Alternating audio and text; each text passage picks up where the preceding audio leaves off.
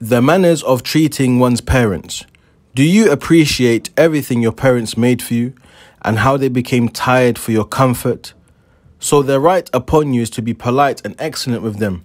Treat them with respect and honor in speech and action, and openly show them your gratitude.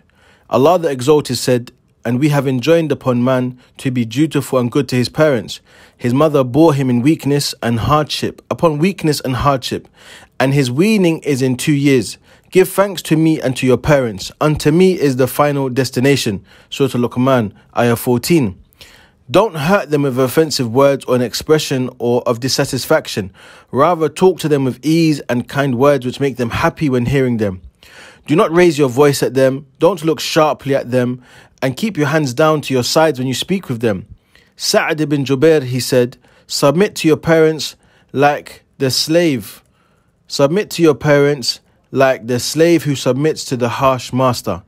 Call them with the most beloved names to them, such as dear father and dear mother, and kiss their hands and heads. Smile to them. Your smiling in the face of your brother is charity.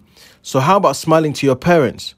Don't walk in front of them and don't sit down while they are standing or in a higher place than them. Take care of their demands, fulfill their needs, spend on them, and don't be stingy with money, for they have spent their lives and wealth on you. Take them to the doctor yourself if they become sick, and serve them with your hands.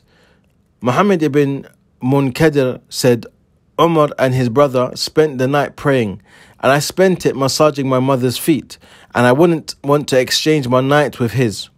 Sit with them, be nice and kind, listen to them when they talk, and show interest in their speech. And don't play with your mobile when you're sitting with them because it offends them. Don't show your pain in their presence. Don't complain your sadness to them because what hurts you hurts them. Rather, show them that you are good and doing well. And it is your duty to make dua for them whilst they are alive and after they die. And always remember what Allah the Exalted said. And your Lord has decreed that you worship none but Him and that you be dutiful to your parents. If one of them or both of them attain old age in your life, say not to them a word of disrespect, nor shout at them, but address them in terms of honor, and lower unto them the wing of submission and humility through mercy, and say, My Lord, bestow on them your mercy as they did bring me up when I was young.